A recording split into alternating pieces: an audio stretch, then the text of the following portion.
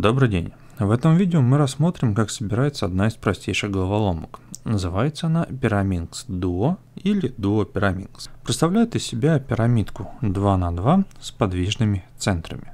Здесь всего два типа элементов. Это 4 трехцветных уголка и 4 одноцветных центра. Изначально производилась данная пирамидка компанией Meffert, но есть много аналогов от неизвестных брендов, к примеру, вот этот экземпляр, а также есть похожие головоломки от компаний Singso и Moyo. Все они собираются одинаково, и на примере конкретно вот этой модели я покажу два способа сборки. Один чуть более длинный, другой покороче. Можно считать первым методом для начинающих, а второй продвинутым. При вращении уголка также перемещаются центры. Перемешаем пирамидку.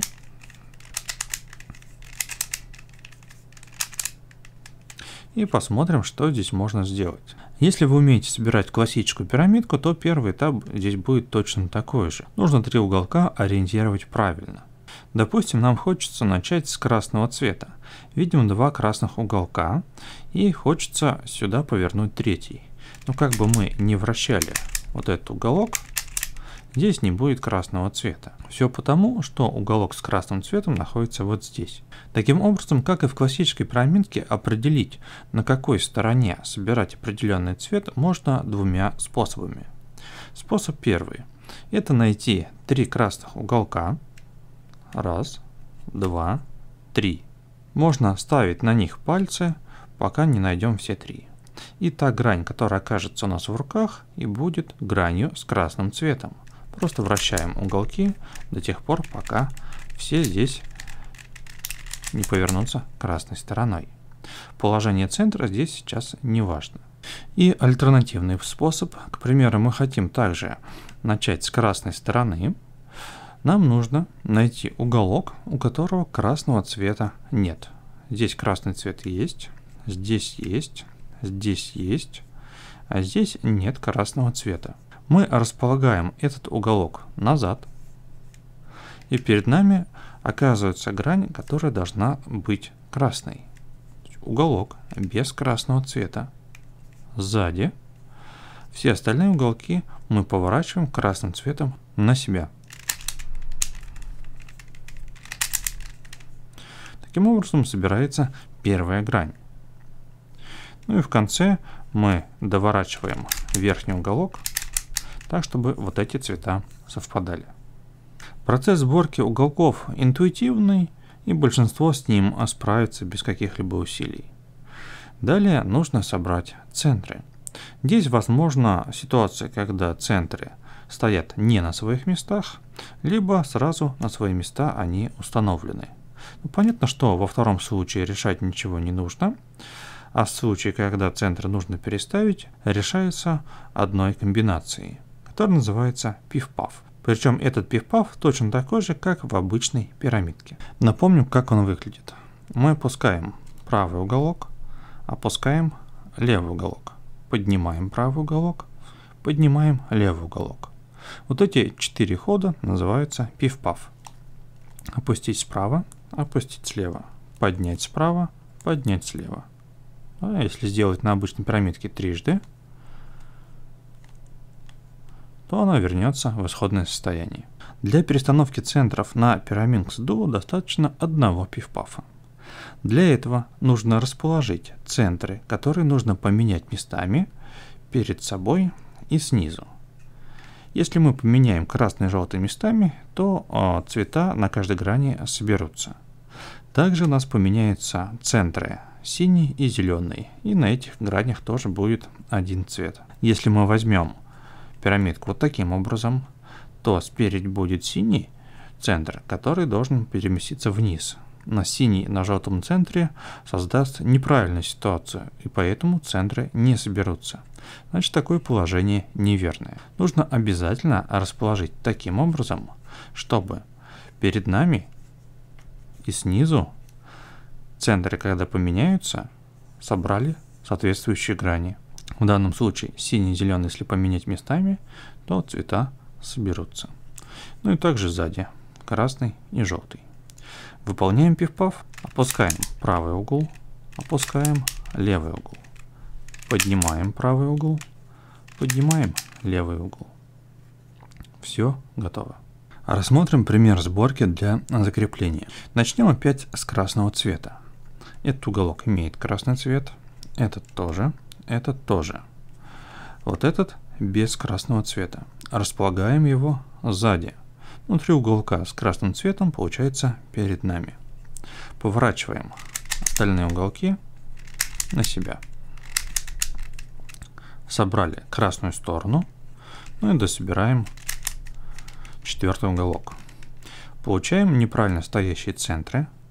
Замечаем, что если вот эти два поменять местами, то все соберется. Располагаем их спереди и снизу. Но автоматически вот эти два тоже встанут в нужное положение. Делаем пиф-паф.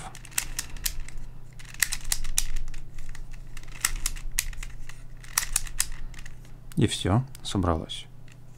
На самом деле эту пирамидку может собрать интуитивно даже малолетний ребенок, причем без применения пивпафов.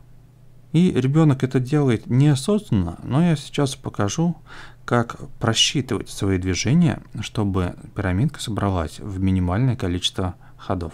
Допустим, мы опять планируем начать с красного цвета. Находим три красных уголка. Вот они. Ну, либо Уголок, который без красного цвета, располагаем сзади. Теперь смотрим. Красный центр находится рядом с красным уголком. И если мы этот уголок повернем в последнюю очередь, то красный центр сразу встанет на свое место. А значит, сначала повернем вот этот уголок, а потом красный уголок, который вместе с центром. И красная грань собрана полностью и уголки, и центр. Остается просто довернуть верхний уголок, и пираминкс до собран. Можно возразить, что не всегда получается так, что центр находится рядом с уголком. Ну, давайте рассмотрим другие ситуации. Допустим, ситуация вот такая. Мы видим, что красный центр находится отдельно. Здесь красный уголок, здесь и здесь. Мы можем их все повернуть, но тогда центр останется где-то сверху, и в конце нам придется сделать пиф-паф. Чтобы этого избежать, мы опускаем один уголок, да, становится их два на нужной грани, а перед тем, как опустить а, следующий, мы подворачиваем к нему центр. Ну, сейчас он стал сам, а могло такого и не произойти.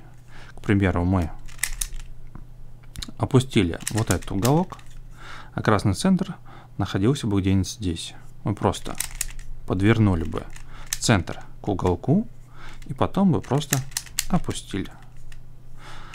В конце остается довернуть четвертый уголок. Ну и еще один пример на всякий случай. Красный центр уже находится на месте, где должна быть красная грань. Если мы посмотрим, три красных уголка уже обращены к нам, остается их только развернуть. И при развороте этих уголков нам нужно сделать так, чтобы красный центр оставался здесь. Понятно, что если мы повернем первый уголок, то центр отсюда сдвинется. Повернем второй уголок, центр не появился, хорошо. Но при повороте третьего уголка мы подставим в него центр, ну и даже не пришлось поворачивать четвертый уголок. Все собралось. Ну и рассмотрим ситуацию, когда у нас есть два уголка, а у них уже находится центр, и остается сюда повернуть третий. Принципе, решение очевидно. Нужно просто отвести один из уголков с центром в сторонку, повернуть этот уголок и вернуть тот, который отворачивали. Ну, опять докручиваем вверх. Таким образом, решение всей головоломки можно свести к 3-4 ходам, собирать буквально за секунды, и в конце пиф-паф уже не требуется. Вроде бы головоломка примитивная, но можно найти какие-то интересные решения, пусть в ограниченном количестве элементов. Тренируйтесь, и все у вас получится. А на этом все. Всем спасибо, всем пока.